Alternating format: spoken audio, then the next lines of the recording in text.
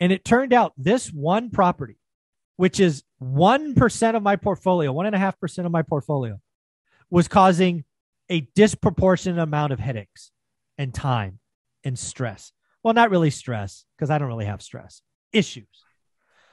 And I'm like, F that. I could sell that property and get rid of, you know, I don't know, 30% of my headaches. Done.